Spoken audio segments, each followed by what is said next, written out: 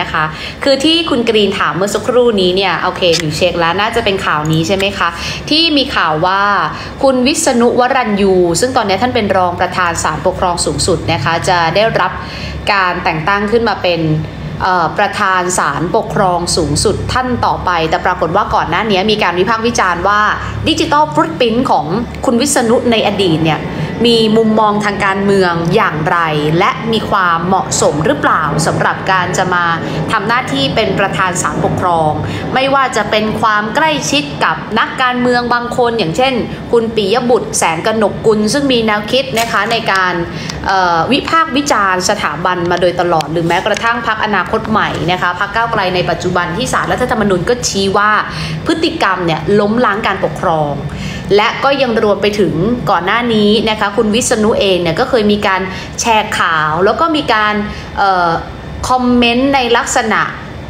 ด้อยค่าคนที่เป็นอดีตประธานองคมนตรี นั่นก็คือพลเอกเปรมตินสุรานนท์ปรากฏว่าเมื่อวานนี้นะคะคุณวิษณุเนี่ยก็มีการทำหนังสือถึงสวก็คือสมาชิกวุฒิสภา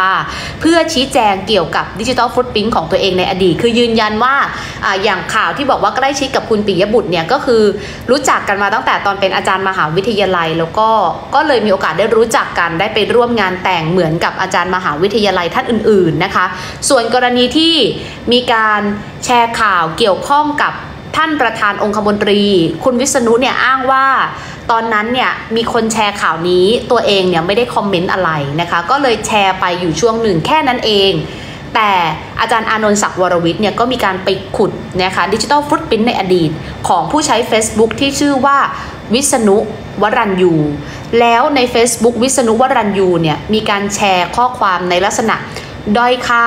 ข่าวที่บอกว่าจะทุบบ้านสีเสาเทเวศด้อยค่าว่าทุบสักทีนะเหมือนที่อยู่ของแบบไดโนเสาร์อะไรประมาณนี้ค่ะ ก็เลยทำให้สังคมเนี่ยวิพากษ์วิจารณ์ถึงความเหมาะสมนะคะ การแสดงออกของคุณวิษณุซึ่งจะมาทำหน้าที่เป็นประธานศาลปกครองนะคะ อันนี้ก็เป็นประเด็นเรื่องของเรื่องของคุณวิษณุวรัญยูสำหรับใครที่โอเคอาจจะไม่ได้ตามนะคะ ก็เล่าให้ฟังก็เป็นเกร็ดการเมืองนะคะ ส่วนหัวข้อของเราในวันนี้ก็คือ การหย่าศึกของนายตำรวจ ในสำนักงานตำรวจแห่งชาติ ทุกคนคะได้ดูการถแถลงข่าวร่วมกันระหว่างพลตำรวจเอกต่อศักดิ์และพลตำรวจเอกสุรเชษแล้วใช่ไหมคะ มีใครดูแล้วบ้าง ใครดูแล้วบอกหน่อยว่าดูแล้ว แล้วดูแล้วเนี่ยมีความคิดเห็นยังไง ไหนลองพิมพ์มาหน่อยนะคะ 172 ท่านนะคะ179 ท่านนะคะ เมื่อสักครู่นี้มีใครได้ดูแถลงข่าวของบิ๊กต่อแล้วก็บิ๊กโจ๊กบ้างนะคะ คุณลักกี้บอกดูแล้วนะคะ เป็นยังไงบ้างคะ คุณปรียายุทธบอกว่ายังนะคะ คุณลักกี้บอกดูแล้ว คุณลัก คุณลักกี้ยังไงคะคุณลักกี้ดูแล้วแบบยังไงบ้าง ลองแลกเปลี่ยนเข้ามานะคะ บ้านเมืองสงบดีอยู่แล้วนะคะ ละครน้ำเน่าฮะอย่าสึกได้เหรอถแถลงแบบออมชอมนะคะ ดูตอนท้ายๆน่ะสงบศึกชั่วคราว สอตชการละครนะคะ การถแถลงข่าวเป็นยังไงบ้างครับ ยังไม่ได้ดูเลย อะโอเคสำหรับใครที่ยังไม่ได้ดูนะคะ ย้อนกลับไปเท้าความก่อน เมื่อวานนี้เนี่ยทีมทนายของบิ๊กโจ๊กเนี่ยนะคะ มีการถแถลงแก้ต่างในประเด็นที่มีชื่อของบิ๊กโจ๊กเข้าไปเกี่ยวข้องกับเว็บพนัน แล้วในตอนท้ายของการถแถลงข่าวเนี่ยก็มีพลตำรวจตรีนำเกียรติ หรือว่าท่านผู้การนำเกียรติได้ขึ้นมาดับเครื่องชน แล้วก็แฉว่าเส้นเงินจากเว็บพนัน BNK Master เนี่ยนะคะถูกโอนไปให้กับนายตำรวจเป็นในพลต่อเต่านะคะ แล้วก็มีภรรยาอักษรย่อกอไก่ มีพี่สาวอักษรย่อจอจานและพี่ชายอักษรย่อชอช้าง ใครที่ติดตามข่าวการเมืองหรือว่าข่าวในวงการตำรวจเนี่ยก็ได้แต่ร้องอ๋ออยู่ในใจนะคะ กับตัวย่อของท่านผู้การนำเกียรติ เพราะคือถ้าย่อแบบนี้เนี่ยก็ก็เปิดชื่อมาเลยดีกว่านะคะ แล้วก็กลายเป็นประเด็นอื้ออึงเลยว่าใครคือในพลต่อเต่านะคะ ในพลต่อเต่ามีตั้งหลายคนนึกออกใช่ไหมคะ แต่ก็กลายเป็นประเด็นวิพากษ์วิจารณ์นะคะ เมื่อวานนี้เนี่ยพลตำรวจเอกต่อศักดิ์นะคะ ก็ออกมาให้สัมภาษณ์ว่า คือจริงๆเนี่ยผู้การนำเกียรติควรจะต้องพูดออกมาเลยว่า อักษรย่อที่ว่าเป็นใคร เพื่อเพื่อจะได้เอาเข้าสู่กระบวนการยุติธรรม แต่ภาพที่เกิดขึ้นเนี่ยมันเหมือนกับว่า ตำรวจเนี่ยกำลังทะเลาะกัน ผู้การนำเกียรติเนี่ยพูดมาคำหนึ่งว่า ส่วนตัวผมเนี่ยเชื่อนะที่ผมถูกดำเนินคดีเป็นเพราะว่าเหมือนผมเนี่ยเข้าไปทำคดีเป้รักผู้การ ก็คือคดีที่ผู้การชนบุรีเนี่ยนะคะมีการตบทรัพย์นะคะผู้ต้องหาเว็บพนันหลายร้อยล้านเป็นร้อยล้าน แล้วก็ผมเนี่ยไปทำคดีกำนันนก ก็เลยทำให้ผมเนี่ยต้องถูกดำเนินคดี อันนี้ในมุมของผู้การนำเกียรติ ก็พยายามจะสะท้อนความรู้สึกของตัวเองว่า ตัดเพราะว่าเนี่ยที่ตัวเองจะต้องแบบมาโดนคดี ก็เพราะว่าเนี่ยเข้าไปแบบอาจจะไปเหยียบเท้าใครหรือเปล่า เป็นเพราะว่าตัวเองไปทำคดีกำนันนกหรือเปล่า เออตัวเองไปทำคดีเป้รักผู้การหรือเปล่า วันนี้ก็เลยออกมาแฉ โดยผู้การนำเกียรติบอกว่า ไม่มีอะไรจะเสียแล้ว หน้าที่การงาน เเงินที่จะเงินบำนงทุกอย่างโดนริบไปหมดชื่อเสียง เกียรติยศทุกอย่างก็มันไม่เหลืออะไรแล้ว วันนี้ก็เลยออกมาแฉ เพราะรู้สึกว่ามันไม่มีความเป็นธรรม เส้นเงินเนี่ยมันไปถึงนายตำรวจ ชั้นผู้ใหญ่ทำไมพนักงานสอบสวนจึงเลือกที่จะมาตรวจสอบเส้นเงินแค่บางเส้น ถ้าแฟร์จริง ๆทำไมไม่ตรวจสอบทุกเส้นนะคะ ก่อนหน้านี้ทนายความของบิ๊กโจ๊กก็ใช้คำว่าเป็นอินซีเลือกเหยื่อหรือเปล่า ก็ทำให้เมื่อวานเนี่ยข่าวที่เกี่ยวข้องกับตำรวจตัดตำรวจเนี่ยโอ้โหแบบกลายเป็นที่วิพากษ์วิจารณ์มากนะคะ โดยเฉพาะอย่างยิ่งทนายความของบิ๊กโจ๊กเองใช้คำว่า กรณีแบบนี้เป็นการเตะตัดขาสกัดเก้าอี้ผู้บัญชาการตำรวจแห่งชาติหรือเปล่า นั่นทำให้ประเด็นหน้าหนังสือพิมพ์เนี่ยโฟกัสไปที่ ข่าวเรื่องของบิ๊กโจ๊กทีมทนายและผู้การนำเกียรติที่ออกมาแฉเส้นเงิน จากเว็บพนันที่ไปที่นายตำรวจใหญ่ ข่าวทีวี ข่าวหนังสือพิมพ์ ข่าววิทยุข่าวโทรทัศน์ ก็รายงานข่าวเรื่องนี้ ปรากฏว่าเมื่อเช้านี้ อยู่ๆก็มีข่าวด่วนเข้ามาว่านายกเนี่ยเรียกบิ๊กต่อกับบิ๊กโจ๊กเข้าไปคุย แล้วหลังจากบิ๊กต่อกับบิ๊กโจ๊กเข้าไปคุยกับนายกเสร็จแล้วนะคะ ออกจากทำเนียบทั้งสองคนเนี่ยก็ไปแถลงข่าวที่สำนักงงานตำรวจแห่งชาติ แล้วตั้งโต๊ะถแถลงข่าวบิ๊กโจ๊กกับบิ๊กต่อนั่งคู่กัน แล้วการถแถลงข่าวเนี่ยคือกำลังจะบอกว่า ตอนนี้นะภาพที่เกิดขึ้นเนี่ยมันเป็นการที่สื่อเนี่ยทำให้ดูเหมือนกับว่ามันมีดราม่าแต่ในความเป็นจริงเนี่ยมันไม่มีหลอกตำรวจที่ทะเลาะกัน แล้วสุดท้ายก็จบลงด้วยภาพที่บิ๊กโจ๊กกับบิ๊กต่อยืนยันว่าเดี๋ยวเราจะช่วยกันทำงาน พัฒนาสตชให้ดีขึ้นต่อไปนะคะแล้วก็จบด้วยภาพที่แบบโอบเอวกอดเอว ถ้าใครยังไม่เห็นก็ใน TikTok มีคลิปล่าสุดนะคะมีมุมหวานเจี๊ยบบิ๊กโจ๊กเนี่ยโอบโอบเอวบิ๊กต่อบิ๊กโจ๊กท่านรองผู้บัญชาการตำรวจแห่งชาติ โอบเอวบิ๊กต่อแล้วก็ยืนยันว่าทั้งคู่เนี่ยรักกัน ทีนี้รายละเอียดการแถลงข่าวนะคะรายละเอียดการแถลงข่าวเนี่ยหมิวปิ้นมาแล้ว เพื่อไม่ให้เกิดการคลาดเคลื่อนนะคะ วันนี้มีข่าวว่าท่านนายกเนี่ยเรียกบิ๊กต่อกับบิ๊กโจ๊กเข้าไปคุยแต่วันนี้บิ๊กต่อยืนยันว่าไม่ใช่ว่านายกเรียกเข้าไปคุยแต่ในความเป็นจริงคือบิ๊กต่อกับบิ๊กโจ๊กเนี่ยคุยกันทุกวันอยู่แล้วนะคะ แล้วก็วันนี้ตัดสินใจที่จะเข้าไปพบท่านนายกเอง ไม่ใช่ว่านายกเนี่ยเรียกไปหย่าศึกนะคะ แล้ววันนี้เนี่ยทั้งบิ๊กต่อแล้วก็บิ๊กโจ๊กเนี่ยยืนยันชัดเจนนะคะว่าในสำนักงานตำรวจแห่งชาติเนี่ย ไม่ได้มีปัญหาอะไรกัน ตอนที่ออกมาจากทำเนียบเนี่ยนักข่าวเนี่ยเจอบิ๊กโจ๊กหน้าทำเนียบ แล้วก็ถามบิ๊กโจ๊กว่าสรุปยังไงคุยกับนายกยังไงนายกหย่าศึกหรือเปล่าหรืออะไรยังไงนะคะบิ๊กโจ๊กบอกเดี๋ยวไปคุยกันที่สำนักงานตำรวจแห่งชาติ เดี๋ยวจะแถลงข่าวทีเดียวเลยที่สำนักงานตำรวจแห่งชาติ ครบจบทีเดียว นักข่าวก็ไปรอกันที่สำนักงานตำรวจแห่งชาติ เพื่อรอฟังการแถลงข่าวของบิ๊กต่อกับบิ๊กโจ๊กการแถลงข่าวของบิ๊กต่อกับบิ๊กโจ๊กนะคะเริ่มจากพลตำรวจเอกต่อศักดิ์ ยืนยันว่าเอาหลัก คดีที่เกิดขึ้นตอนนี้มันคือคดีที่มีพนักงานสอบสวนไปแจ้งความเอาผิดบิ๊กโจ๊กนะคะว่าเข้าไปเกี่ยวข้องกับการฟอกเงินเข้าไปมีชื่อเกี่ยวข้องกับเว็บพนันออนไลน์ ในมุมของบิ๊กโจ๊กก็บอกว่า ก็ก่อนหน้านี้ไอ้คดีที่เกี่ยวข้องกับเว็บพนันออนไลน์เนี่ยมันอยู่ในการดูแลของปปชอยู่แล้ว แล้วคุณจะมาแจ้งความอย่างเงี้ยมันซ้ำซ้อนหรือเปล่า เป็นการทำหน้าที่โดยมิชอบหรือเปล่าบิ๊กจอบิ๊กต่อวันนี้ก็เลยบอกว่าเอาเป็นว่าหลังจากเนี้ย ทุกคดีส่งให้ปปชดำเนินการทั้งหมด ทุกคดีจะเป็นหน้าที่ของปปช เพื่อไม่ให้เห็นภาพความขัดแย้ง ยืนยันว่าตนเองเนี่ยคุยกับบิ๊กโจ๊กอยู่ตลอด ไม่มีความขัดแย้งกัน ดังนั้นดราม่าที่บอกว่าบิ๊กต่อกับบิ๊กโจ๊กเนี่ยทะเลาะกันอันนี้ไม่ใช่ ยืนยันว่าไม่มีความขัดแย้งใดๆทั้งสิ้น แล้วทุกคดีหลังจากเนี้ย จะส่งไปที่ปปชทั้งหมด แล้วเรื่องนี้ก็แจ้งให้กับท่านนายกรัฐมนตรีรับทราบเรียบร้อยบิ๊กต่อบอกตัดสินใจแล้วว่าจะส่งสำนวนทั้งหมด ให้ปปชพิจารณา ยืนยันว่าไม่เคยขัดแย้งกับพลตำรวจเอกสุรเชษที่ผ่านมาสื่อโซเชียลทำให้เกิดความขัดแย้ง ตนเองไม่ต้องการเตะตัดขา ความเป็นพี่เป็นน้องกับบิ๊กโจ๊กมีมาอย่างเหนียวแน่น ยอมรับว่าเครียด อยากให้เกิดการประนีประนอม อยากให้ผู้ใต้บังคับบัญชามีความสุขและมีกำลังใจ วันนี้ก็เลยเลือกที่จะไปคุยกับนายกรัฐมนตรีพลตำรวจเอกต่อศักดิ์ยังบอกด้วยว่า นับตั้งแต่วันที่ตนเนี่ยเข้ามารับตำแหน่งผู้บัญชาการตำรวจแห่งชาติ ไม่มีความขัดแย้งกับใครทั้งสิ้น สัญญาลูกผู้ชาย แต่สิ่งที่เกิดขึ้นมาจากการไปฟังคนอื่น ต้องการสร้างให้สำนักงงานตำรวจแห่งชาติเป็นบ้านที่อบอุ่น แม้ว่าตัวของบิ๊กต่อเนี่ยจะไม่จบจากโรงเรียนในร้อยตำรวจ แต่ด้วยความที่ตนเองเนี่ยเคยเป็นอาจารย์สอนในโรงเรียนในร้อยตำรวจมาหลายสิบปี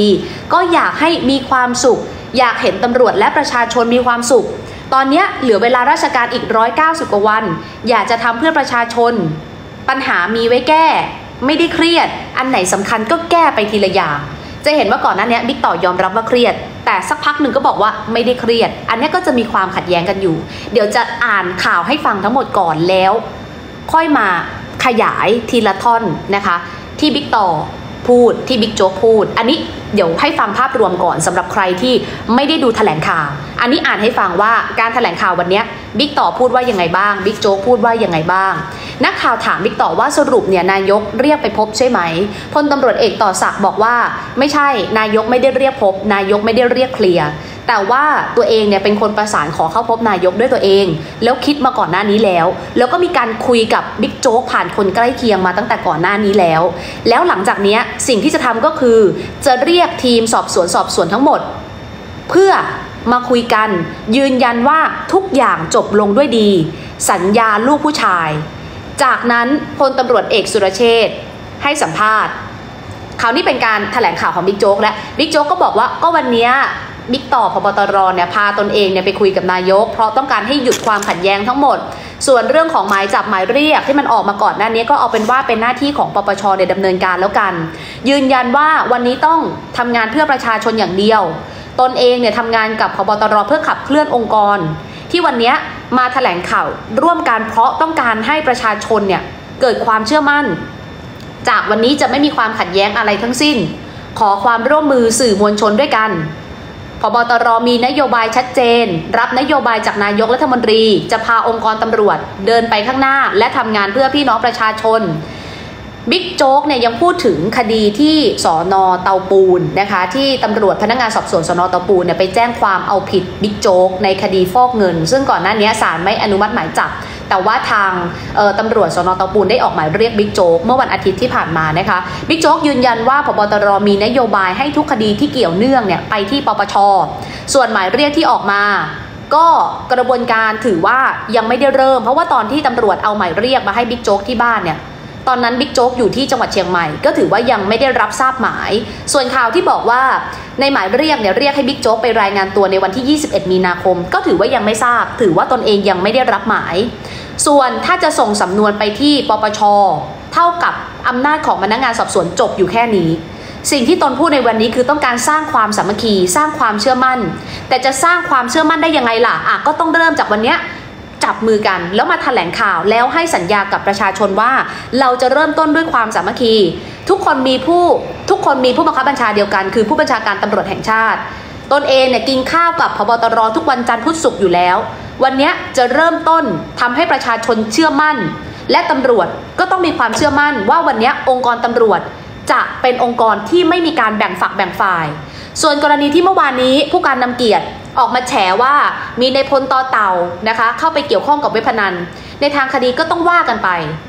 ให้ความเป็นธรรมกับทุกฝ่าย แต่ก็ต้องไปดูว่ามันผิดวินัยหรือเปล่า ถ้าผิดวินัยก็ต้องดำเนินการ อันนี้คือแปลว่า แปลว่าเมื่อวานที่ผู้การนำเกียรติออกมาแถลงเนี่ย ฟังจากทรงนี้นะคะ ยังไงอะอะเดี๋ยวเดี๋ยวเดี๋ยวกลับเดี๋ยวแวะกลับมาคุยกันทีเดียวก่อน ส่วนการทำงานยืนยันวันนี้ต้อง set zero สิ่งที่ท่านผู้การนำเกียรติแถลงข่าวเมื่อวานนี้ก็ต้องไปดูว่าผิดวินัยหรือเปล่า ถ้าผิดวินัยก็ต้องดำเนินการ ส่วนกรณีที่มีข่าวว่าบิ๊กโจ๊กเนี่ยไปฟ้องพนักงานสอบสวน 200 กว่านาย ยืนยันว่าถอนฟ้องเรียบร้อย แล้วก็รวมไปถึงคดีที่ผู้การนำเกียรติเนี่ยเคยฟ้อง ผู้บัญชาการตำรวจแห่งชาติก่อนหน้านี้ ก็ต้องถอนฟ้องทั้งหมด ส่วนคดีที่บิ๊กโจ๊กฟ้องผู้กเอ่อท่านท่านรองเต่าพลตำรวจตรีจรุนเกียรติปานแก้ว อันนี้ก็จะถอนฟ้องเหมือนกัน จะได้ไม่มีความขัดแย้ง ส่วนอักษรย่อที่ผู้การนำเกียรติออกมาแฉเมื่อวานนี้ ก็ต้องดำเนินการตรวจสอบกันไป นักข่าวถามต่อ ต่อไปนี้เป็นการซักถามของนักข่าวแล้วนะคะ เรื่องเส้นทางการเงินจะมีการตรวจสอบหรือไม่บิ๊กโจ๊กบอกว่า วันนี้ตนเองแถลงข่าวร่วมกับพบตรไม่ได้มีการเอ่ยชื่อใคร ขณะที่พบตรศักดิ์ก็บอกว่าในเรื่องของอักษรย่อก็บอกไปแล้วว่า เอ่ยเป็นอักษรย่อออกมา คือถ้าจะเอาให้ชัวร์ก็พูดออกมาเป็นชื่อเต็มเลย ถ้าไม่เอ่ยออกมาเป็นชื่อเต็มเป็นแค่อักษรย่อมันก็ไม่เป็นคดี เอาผิดใครไม่ได้ แล้วตัดพ้อในเชิงน้อยใจด้วย คือนักข่าวพยายามจี้เรื่องผู้การนำเกียรติที่ออกมาแบบถามออกมาแฉเรื่องอักษรย่อ บิ๊กต่อก็พูดในเชิงตัดพ้อว่า เฮ้ยถ้าสื่อมวลชนถามแบบนี้เนี่ยมันทำให้เกิดความขัดแย้งนะกำลังลดค่าองค์กรหรือเปล่า สื่อมวลชนไม่รักผมเหรอ แล้วหลังจบการแถลงข่าวก็เป็นภาพที่บิ๊กต่อกับบิ๊กโจ๊กกอดเอวกันบิ๊กโจ๊กเนี่ยกอดเอวบิ๊กต่อ คือถ้าดูภาพเนี่ยจะเห็นเลยว่าบิ๊กโจ๊กเนี่ยเป็นรองผู้บัญชาการตำรวจแห่งชาติ บิ๊กต่อเนี่ยเป็นผู้บัญชาการตำรวจแห่งชาติ แต่คนที่กอดเอวเนี่ยคือบิ๊กโจ๊กคือท่าทางเหมือนบิ๊กโจ๊กเอาอยู่กอดนะคะแล้วก็ยืนยันว่าก่อนหน้านี้ไม่เคยทะเลาะกันเลย องค์กรตำรวจไม่เคยมีปัญหากันนะคะ ทีนี้จริงหรือเปล่าอะทีนี้เป็นการขยายความเพิ่มเติมแล้วนะคะใครยังไม่ได้กดติดตามฝากกดติดตามหน่อยนะคะ สวัสดี 700 กว่าท่านนะคะ อย่างเป็นทางการ ไม่แน่ใจว่ามีใครที่เพิ่งเข้ามาดูวันนี้เป็นวันแรกหรือเปล่านะคะ ทีนี้มาเข้าสู่การ ให้รายละเอียดเพิ่มเติมนะคะ เรื่องของบิ๊กต่อกับบิ๊กโจ๊กที่แถลงหย่าศึกวันนี้นะคะ เอากันที่ภาพนี้ก่อนเดี๋ยวหมิวเปิดภาพให้ดู ภาพ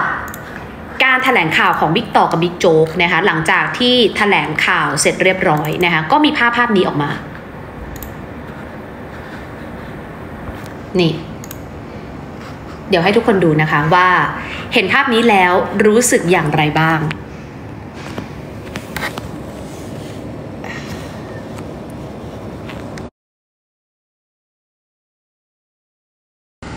พนี้ทุกคน เป็นยังไง นี่คือภาพตอนที่นักข่าวบอกว่าอ่าไหนยืนกอดกันหน่อย ไหนแบบหลังจบการแถลงข่าว นี่คือบิ๊กโจ๊กนะคะท่านรองผู้บัญชาการตำรวจแห่งชาติ นี่คือท่านผู้บัญชาการตำรวจแห่งชาติ ภาพนี้เนี่ยกำลังบอกอะไรกับเรานะคะคุณดวงรัฐส่งสายรัดข้อมือให้นะคะ ขอบพระคุณมากเลยบิ๊กโจ๊กกอดมาที่เอวของบิ๊กต่อ บิ๊กโจ๊กยืนแบบอกผายไหล่ผึ่ง ส่วนบิ๊กต่อในภาพภาพเนี้ยจังหวะจังหวะเนี้ยดูแบบดูเคอะเคอะเขินเขินหรือเปล่า อันนี้เป็นการอ่านจากภาษากายนะคะ อุ้ยมีคนส่งของรางวัลให้เอาพี่จุ๋ม พี่จุ๋มในบอกจะไปนั่งวิปัสสนา เนี่ยไม่ละทางโลกเลยนะ ยังเล่นโซเชียลอยู่ตลอดนี่ ภาพเนี้ยรอยยิ้มอะมาดูสีหน้าและรอยยิ้ม สีหน้าและรอยยิ้มของบิ๊กต่อก็ยังไง ก็สุดแท้แต่คนจะตีความนะคะ คุณเอกรัตน์นะคะ ส่งของรางวัลมาให้นี่ นี่คือภาพที่เป็นช็อตหวานเจี๊ยบ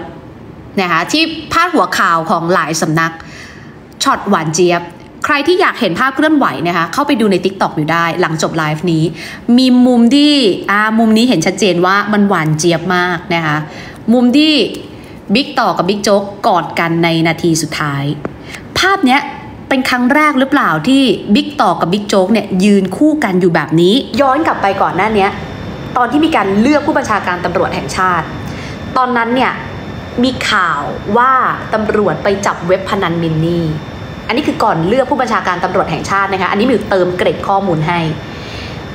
ไปจับเว็บพนันมินนี่แล้วขยายผลพบว่ามีลูกน้องของบิ๊กโจ๊กเข้าไปพัวพันกับเว็บพนันจนกระทั่งมีการออกหมายค้นนำไปค้นบ้านของบิ๊กโจ๊ก แถวแถวสโมสรตำรวจ ทุกคนจำภาพนั้นได้ใช่ไหมคะ อันนั้นน่ะเกิดขึ้นไหมคะ อันนั้นน่ะเกิดขึ้นก่อนที่จะมีการเลือกผู้บัญชาการตำรวจแห่งชาติ แล้วพลตำรวจเอกต่อศักดิ์ได้ขึ้นมาเป็นพบตรและเหตุการณ์นั้นน่ะเกิดขึ้นแค่ไม่กี่อาทิตย์ก่อนที่จะมีการเลือกพบตรแล้วคนก็ตั้งข้อสังเกตว่าเป็นการเตะสกัดบิ๊กโจ๊ก ที่จะขึ้นมาเป็นผู้บัญชาการตำรวจแห่งชาติหรือเปล่า เพราะว่าการเลือกผบตรคราวที่แล้วเนี่ยแคนดิเดตมี 4 คนอาวุโสอันดับหนึ่งคือพลตำรวจเอกรอยอิงคไพโรจน์รองผบตร ท่านที่ 2 คือบิ๊กตายอะท่านที่ 2 คือบิ๊กโจ๊กพลตำรวจเอกสุรเชษฐ์ท่านที่ 3 คือบิ๊กตายท่านกิตติ์รัฐพันธุ์เพ็ชร์และท่านที่ 4 คือพลตำรวจเอกต่อศักดิ์สุขวิมลแต่การเลือกผบตรเนี่ยไม่ได้ดูแต่อาวุโส อาวุโสบวกความรู้ความสามารถ ซึ่งแน่นอนว่าคนที่ขึ้นมาเป็นรองผบตรก็ต้องต้องเก่งทุกคนนะคะที่สุดแล้วเนี่ย บิ๊กต่อก็ได้ขึ้นมาเป็นผู้บัญชาการตำรวจแห่งชาติ แต่ถ้าย้อนกลับไปเนี่ย แต่ถ้าย้อนกลับไปเนี่ย ตอนนั้นบิ๊กโจ๊กเคยพูดมาคำหนึ่งว่า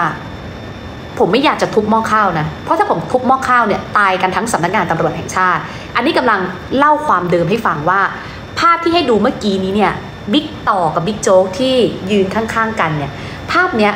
ไม่ได้เกิดขึ้นเป็นครั้งแรก แต่ภาพแบบเนี้ยเคยเกิดขึ้นมาแล้ว ในสมัยก่อนเลือกผู้บัญชาการตำรวจแห่งชาติสมัยที่แล้ว เป็นการหย่าศึกกัน ทีนี้กลับมาที่สถานการณ์ปัจจุบันนะคะเมื่อสักครู่ย้อนความที่เป็นเกร็ดให้เผื่อใครลืมไปแล้ว ทีนี้กลับมาที่ในปัจจุบัน การถแถลงข่าววันนี้ การถแถลงข่าววันเนี้ยเป็นการถแถลงข่าวที่ถ้าเราลองได้อ่านคอมเมนต์ของประชาชนที่ดูการไลฟ์สดถแถลงข่าวของสองนายตำรวจบิ๊กต่อและบิ๊กโจ๊ก คือเราจะเห็นว่าประชาชนคือคอมเมนต์ในลักษณะเชิงแบบเชิงตัดพ้ออย่างชัดเจนมาสะท้อนว่าประชาชนกำลังรู้สึกว่า นี่เรากำลังดูอะไรอยู่ ก่อนหน้านี้ทนายความของบิ๊กโจ๊กก็เหมือนออกมาออกมาโหมโรงว่า มีข้อมูลเยอะนะ ว่าเส้นเงินเนี่ยมันไปถึงนายตำรวจคนไหนบ้าง เมื่อวานการถแถลงข่าวของทนายอาจจะยังไม่ชัด แต่การที่ผู้การนำเกียรติออกมาเปิดชื่อนายพลต่อเต่า ที่เข้าไปเกี่ยวข้องกับเว็บพนัน มันทำให้สังคมลุกฮือว่าใครคือในพลต่อเต่า และเรายังตั้งข้อสังเกตเลยว่า ถ้าผู้การนำเกียรติมั่นใจว่ามีข้อมูลที่จะเอาผิดได้ต้องไม่มาแต่ชื่อย่อ แต่ต้องเอาหลักฐานไปยื่นเอาผิดในพลต่อเต่าคนนั้น ซึ่งดิฉันไม่รู้นะคะว่าในพลต่อเต่าเนี่ยเป็นใครในพลต่อเต่ามีเยอะมาก ในพลต่อเต่าภรรยากอไก่อักษรย่อ ซึ่งก็ในพลต่อเต่าก็มีตั้งหลายคน อันนี้ก็เป็นเบาะแสที่ผู้การนำเกียรติให้มา แต่ถ้าผู้การนำเกียรติหรือทนายของบิ๊กโจ๊กที่เปิดเส้นเงินที่แบบโอ้โหหน้าตาเหมือนแบบเหมือนสะพานพระรามแปดมั่นใจว่า มั่นใจว่าจะเอาผิดนายตำรวจคนนั้นได้ ต้องกล้าที่จะที่จะแบบไปให้สุดไม่ใช่ออกมาเปิดชื่อ แล้วสุดท้ายก็จบแบบ ไม่มีใครผิดเลยนะคะ เมื่อวานจำได้ไหมที่มิวไลฟ์ตอนกลางคืนแล้วมิวมีพูดถึงประเด็นนี้ด้วย จนกระทั่งเช้าวันนี้มีการถแถลงข่าวขึ้น นี่คือเส้นเงินที่เมื่อวานนี้ทนายของบิ๊กโจเปิดถแถลงข่าว นี่ อันนี้คือ BNK Master นี่คือบัญชีของพิมพ์วิไลนะคะ พิมพ์วิไลเนี่ยเป็นคนที่ทำบัญชีให้กับ BNK Master แล้วโอนเงินไปหลายเส้น อันนี้การถแถลงข่าวของทนายความเมื่อวานนี้นะคะ เส้นที่อ้างว่าเกี่ยวข้องกับบิ๊กโจ๊กเนี่ยคือ 3 เส้นนี้ที่เขาทำรูปอินซีเอาไว้ ซึ่งเส้นเงินเนี่ยมันไปถึงลูกน้องของบิ๊กโจ๊กไม่มีเส้นเงินเส้นไหนที่ไปถึงบิ๊กโจ๊กทนายความใช้คำว่าเป็นอินทรีเลือกเหยื่อหรือเปล่า เพราะอะไร เพราะเส้นเงินทั้งหมด 34 เส้นเนี่ยคือเส้นเงินที่อ้างว่ามาจากเว็บพนัน BNK Master ที่จ่ายโดยพิมพ์วิไล ไอ้เส้นที่เกี่ยวกับบิ๊กโจ๊กเนี่ยคือเส้นที่ 32 33 34 และไม่ใช่ว่าพิมพ์วิไลโอนให้บิ๊กโจ๊กนะคะ ย้ำนะโยโอนให้กับลูกน้อง อันนี้คือตามการถแถลงข่าวของทนาย และทนายตั้งข้อสังเกตว่า แล้วไอ้เส้นเนี่ยเส้นที่เหลือเนี่ยเนี่ยใส่หมวกเนี่ยอันนี้คือตำรวจทั้งนั้นเลยนะ มียศด้วยนะ มียศแบบเนี่ยอันนี้คือยศแล้วก็เนี่ยทำไมแบบไม่ถูกเอาผิดเลย แล้วก็ยังมีอีกสี่เส้น เส้นที่หนึ่งเส้นที่สองอันนี้ ออกหมายจับไปเรียบร้อย เส้นที่สามเส้นที่สี่มีการโอนเงินไปให้กับผู้สื่อข่าว สมาคมนักข่าวตำรวจหลายนาย ญาติผู้บังคับบัญชาระดับสูง แล้วเนี่ยมีโอนไปให้นายออ่าง มีหลักฐานว่าร่วมกันถอนเงินไป 20 กว่าล้าน ในพื้นที่แถวแถวเมืองทอง บวกพื้นที่ใกล้เคียงเนี่ยไอ้สี่เส้นเนี้ยทำไมไม่มีการแจ้งความเอาผิดโอเคเอาผิดไปได้หนึ่งกับสองเส้น เส้นที่สามเนี่ยสีแดงเถือกเนี่ยทำไมไม่แจ้งความเอาผิด แต่มาโฟกัสแค่สามเส้นนี้ที่อ้างว่า ไปเกี่ยวข้องกับลูกน้องของบิ๊กโจ๊กอันนี้คือการแถลงของทนาย แล้วปรากฏว่าผู้การนำเกียรติมาเลยค่ะ ผู้การนำเกียรติมาเลยบอก ผู้การนำเกียรติเจาะให้เลย ไม่ต้องอ้ำมึงอึ้งไอ้เส้นที่อ้างว่า ไปถึงนายตำรวจยศใหญ่คือเส้นนี้ เส้นที่สำคัญที่สุดคือเส้นนี้ เส้นที่สาม พิมพ์วิไลโอนมาให้นายคอควาย นายอควายโอนไปให้ผู้สื่อข่าว สมาคมนักข่าว ตำรวจ และญาติผู้บังคับบัญชาระดับสูง อักษรย่อนายพลต่อเต่า ภรรยา น่าจะกอไก่ พี่สาวน่าจะจอจานพี่ชายน่าจะจอจาชอชา คือท่านก็เก่งท่านก็ใช้คำว่าน่าจะ อันนี้คืออันนี้คือการถแถลงข่าวเมื่อวานก่อนที่จะนำมาซึ่ง การถแถลงข่าวของสองตำรวจวันนี้ ทีนี้วันนี้ที่บิ๊กต่อกับบิ๊กโจ๊กแถลงข่าวร่วมกันบิ๊กต่อบอกว่าวันนี้นายกเนี่ยไม่ได้เรียกไปคุยนะคะ แต่ขอเข้าไปคุยเองเพราะรู้สึกว่าข่าวที่ออกมาตอนนี้มันทำให้องค์กรตำรวจเนี่ยเสียหายมากบิ๊กต่อบอกว่าเอาแบบนี้นะ ความคืบหน้าคือ ทุกคดีที่เกี่ยวข้องตอนเนี้ยเดี๋ยวส่งให้ปปชดำเนินการทั้งหมด แปลว่าอะไรคะ แปลว่าก่อนหน้านี้ ไม่ว่าจะเป็นผู้การเออไม่ผู้การไม่ว่าจะเป็นที่ท่านท่านรองท่านจรูนเกียรติ ท่านจรูนเกียรติที่ท่านออกมาแบบโดนบิ๊กโจ๊กฟ้องเลยนะ แล้วก็ออกมาแถลงข่าวว่าเนี่ยรุ่นนั่นอะไรอย่างเงี้ย ทุกอย่างจบเลย ทุกอย่างจบเลย เป็นอำนาจของปปชอย่างที่บิ๊กโจ๊กแล้วก็ทนายให้ข่าวว่าเฮ้ยไอเส้นเงินทั้งหมดเนี่ยมันก็เป็นแบบสำนวนเดียวกัน มันควรจะต้องอยู่ในอำนาจของปปช พนักงานสอบสวนทำหน้าที่โดยมิชอบ วันนี้จบเลยบิ๊กต่อบอกเดี๋ยวทุกคดีหลังจากเนี้ยเอาแบบเอาแบบที่ว่า ให้เป็นการทำหน้าที่ของปปช แล้วไม่ต้องกลัวว่าการทำหน้าที่ของปปชจะช้า เพราะว่าทุกอย่างก็ว่ากันไปตามกระบวนการสำนวนทั้งหมดส่งไปที่ปปช แล้วยืนยันว่าไม่มีความขัดแย้งกับบิ๊กโจ๊ก ไม่มีความขัดแย้งกับพลตำรวจเอกสุรเชษฐ์แต่ที่ผ่านมาสื่อโซเชียลทำให้เกิดความขัดแย้ง อันนี้หมิวหมิวแบบหมิวตอนหมิวฟังแล้วหมิวแบบ เกี่ยวอะไรกับสื่อโซเชียลอะ สื่อโซเชียลทำให้ขัดแย้งตรงไหนอะคือสื่อไม่ได้ปั่นนะ สื่อรายงานตามข้อเท็จจริงที่ตำรวจโต้กันไปโต้กันมาถูกต้องไหมคะ อันนี้ขอความเป็นธรรมด้วย สื่อโซเชียลไม่ได้ปั่นให้เกิดความขัดแย้งนะคะ ตรงไหนที่บอกว่าสื่อโซเชียลปั่นให้เกิดความขัดแย้งหรือถามหน่อย คือภาพที่ออกมาเนี่ย คือตำรวจออกมาแฉกันไป ออกมาแฉกันมา ออกมาแฉกันมา ออกมาแฉกันไป ขู่ว่ามีข้อมูล เฮ้ยท่านเล่นแบบนี้เนี่ย ผมไม่อยากชกใต้เข็มขัดนะ ผมไม่อยากทุบหม้อข้าวตัวเอง แต่ผมมีข้อมูล ถ้าเปิดมาเนี่ยตายกันทั้งสำนักงานตำรวจแห่งชาติ คือแบบเกี่ยวอะไรอะสื่อไม่ได้ สื่อไม่ได้ทำให้เกิดความขัดแย้งนะคะ เรื่องเนี้ย สื่อไม่ได้เต้าข้อมูลขึ้นมาเอง สื่อไม่ได้ปั่นข้อมูลขึ้นมาเองนะ สื่อรายงานตามการถแถลงข่าวของตำรวจ การถแถลงข่าวของทนายความ และการถแถลงของตำรวจ และการถแถลงของทนายความแต่ละครั้งก็ส่งหมายให้กับสื่อ ไม่ใช่สื่อตามแอบไปสืบจนไปได้ข้อมูลมานะคะ ก็คุณแจ้งหมายข่าวมา สื่อก็ไปทำข่าว แล้วก็ถแถลงข่าว แล้วสื่อก็ทำข่าว ถ่ายทอดสด ทุกข้อความที่นายตำรวจแต่ละฝั่งพูด อันนี้ก็เลยแบบ ทำให้แอบเอะด้วยเหมือนกันนะคะ กับการถแถลงข่าวของท่านผบตร แต่ก็โอเค ท่านบอกว่าที่ผ่านมาสื่อโซเชียลทำให้เกิดความขัดแย้ง ไม่ต้องการเตะตัดขา แล้วยืนยันว่าความเป็นพี่เป็นน้องยังมีเหมือนเดิม ยอมรับว่าเครียดบิ๊กต่อบอกยอมรับว่าเครียด อยากให้เกิดการประนีประนอม ตั้งแต่วันที่เข้ามารับตำแหน่งเนี่ย ไม่อยากให้มีความขัดแย้งเกิดขึ้น อยากทำให้สำนักงงานตำรวจแห่งชาติเป็นบ้านที่อบอุ่น คือวิธีการที่จะทำให้สำนักงงานตำรวจแห่งชาติเป็นบ้านที่อบอุ่น คือตำรวจก็จะต้องตรงไปตรงมา คือเรื่องเนี้ยมันกำลังจบลงที่อะก็ว่ากันไปให้ปปชตรวจสอบ แล้วก่อนหน้าเนี้ยดราม่าที่เกิดขึ้นก่อนหน้าเนี้ยแฉกันไปแฉกันมา สรุปจบจบกันแบบเนี้ยหรอ จบที่ภาพของบิ๊กต่อกับบิ๊กโจ๊กกอดกัน แล้วยังไง อันนี้ก็ต้องฝากความหวังเอาไว้ที่ท่านผู้การนำเกียรติเมื่อวานที่ออกมาแฉในพลตอเต่า อันนั้นถ้ามีข้อมูลขนาดนั้นก็ต้องว่าไปตามกระบวนการต้องเอาผิดมาให้ได้ เพราะถ้าเกิดว่าเปิดมาแค่ตัวย่อแบบนี้อันแน่นอนว่ามันก็เอาผิดใครไม่ได้จริงๆนะคะอุ๊ยมีคนส่งตุ๊กตาหมีมาให้ ขอบคุณนะคะ อันนี้คือบิ๊กต่อที่ให้สัมภาษณ์นะ ในขณะที่บิ๊กโจ๊กฝั่งบิ๊กโจ๊กวันนี้บิ๊กโจ๊กให้สัมภาษณ์ว่าวันนี้ก็ผบตรก็พาไปคุยกับท่านนายก เพราะต้องการยุติความขัดแย้งนะคะ ทุกเรื่องหลังจากนี้ก็จะเป็นหน้าที่ของปปชดำเนินการ ส่วนคดีที่ตนเองไปฟ้องบิ๊กเต่านะคะพลตำรวจโทจรุนเกียรติในข้อหาหมิ่นประมาทเดี๋ยวจะถอนฟ้อง และคดีที่ไปฟ้องพนักงานสอบสวนเดี๋ยวถอนฟ้องให้หมด คือคดีไหนที่มันเป็นคดีฟ้องกันไปฟ้องถอนฟ้องให้หมดเพื่อยุติความขัดแย้ง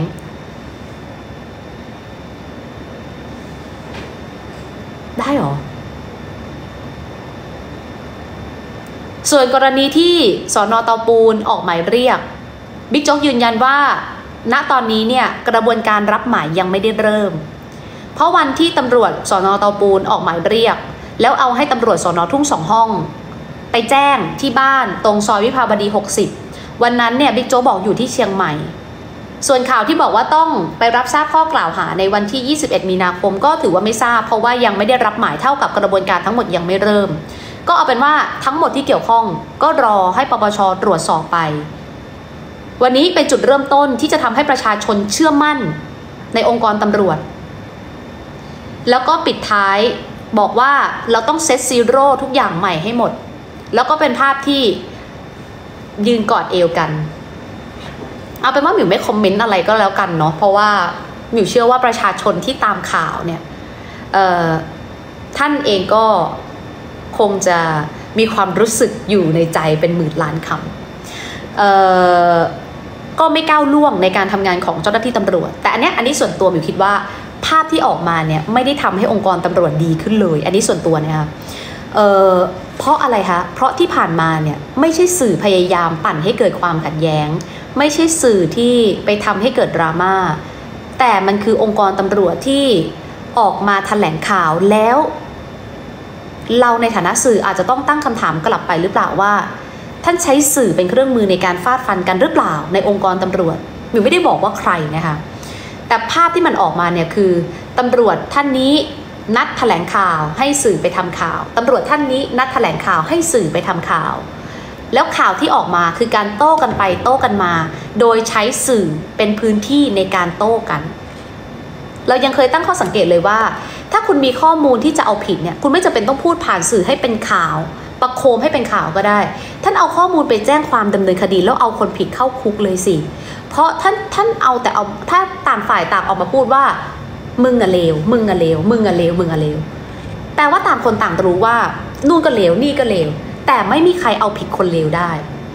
เพราะมาชี้หน้าด่ากันผ่านสื่อเนี่ยว่าคนนี้เลวคนนี้เลวคนนี้เลวคนนี้เลวแล้วยังไงอะทำไมถ้ารู้ว่า คนนู้นผิดคนนี้ผิดทำไมไม่แจ้งความแล้วเอาผิด และสุดท้ายภาพที่เราเห็นมิวถามหน่อยว่า ภาพที่มันเกิดขึ้นวันนี้มันทำให้องค์กรตำรวจดูดีขึ้นจริงเหรอคะอันนี้ถามแบบตรงไปตรงมานะมิวถามอะเอาแบบแฟร์เลยอะ ภาพที่มันเกิดขึ้นวันนี้มันทำให้องค์กรตำรวจดูดีขึ้นจริงหรอ ท่านเชื่อแบบนั้นจริงหรอว่า อันนี้ด้วยความเคารพนะ เออเราไม่รู้หรอกว่าใครผิดใครถูก ตอนนี้ก็ต้องว่ากันไปตามกระบวนการ แต่ถามใจหน่อยว่า ภาพที่เกิดขึ้นเนี่ย มันทำให้องค์กรตำรวจ มันดีขึ้น หรือมันแย่ลง ที่ท่านบอกว่าวันนี้ออกมาแถลงข่าว เพราะต้องการทำให้ประชาชนในเชื่อมั่นในองค์กรตำรวจ ไม่อยากเห็นภาพตำรวจทะเลาะกันเอง เอาจริงๆป่ะคะ ไม่ทันแล้วนะ ไม่ทันแล้ว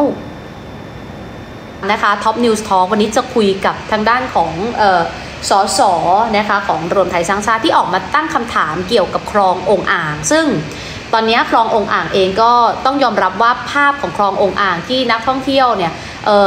คือคลององอ่างเนี่ยในยุคที่แล้วเนี่ยถูกพัฒนาจนเป็นสถานที่ท่องเที่ยว ชื่อดัง แล้วก็นักท่องเที่ยวชาวต่างชาติหลายคนเนี่ยเขาก็มาเที่ยว แล้วเขาก็คาดหวังว่าเฮ้ยถ้ามาเที่ยวคลององอ่างเนี่ยฉันจะได้พายเรือคายักมันจะมีกิจกรรมมีถนนคนเดินแต่ปรากฏว่าทุกวันนี้คลององอ่างคือถูกปล่อยแบบปล่อยจะใช้คาว่าปล่อยทิ้งร้างก็ยังไม่ถึงขนาดนั้น แต่ไม่มีการจัดกิจกรรม จนบางครั้งเนี่ยมีภาพของคนแบบคนไร้บ้าน มานอนก็มี แล้วน้ำในคลองก็เริ่มที่จะกลับมาแบบไม่ใสสะอาดเหมือนเมื่อก่อน วันก่อนฝรั่งมาถามพ่อค้าแม่ค้าว่า hey you ไม่มีอันนี้หรอเขาก็เปิดรูปที่พายเรือคายักนะคะ ในคลององอ่างให้ดูพ่อค้าแม่ค้าก็ตอบโอ้แบบมันไม่มีแล้วอะไรอย่างเงี้ย ก็มีสสรัฐบาลเนี่ยตั้งกระทู้ถามนะคะ ไปยังหน่วยงานที่เกี่ยวข้อง ไปยังทางกรุงเทพมหานครว่า คือคลององอ่างเนี่ยจะยังไง คือจะไม่มีแล้วใช่ไหมคลององอ่างที่เคยเป็นแบบเป็นแบบ เป็นเขาเรียกว่าอะไรเป็นสถานที่ท่องเที่ยวเป็นแลนด์มาร์คใหม่ของกรุงเทพมหานครนะคะ ซึ่งเอาจริงๆมันก็เป็นแบบเป็นกิจกรรมที่ทางกทมก็เคยจัดแล้วจัดได้ดี อย่างเช่น ตอนงานลอยกระทงอย่างเงี้ยคือถ้าจะจัดก็จัดได้ วันนี้ก็จะคุยกับทั้งฝั่งของกรุงเทพมหานคร แล้วก็ฝั่งของออทางสสรัฐบาลนะคะที่มีการตั้งคำถามว่าจะเอายังไงกับคลององอ่าง แล้วแผนการพัฒนาหลังจากเนี้ยจะเป็นอะไรยังไงต่อไปก็ฝากติดตามด้วยนะคะ ในรายการ Top News Talk บ่าย3โมง5นาทีเป็นต้นไปนะคะ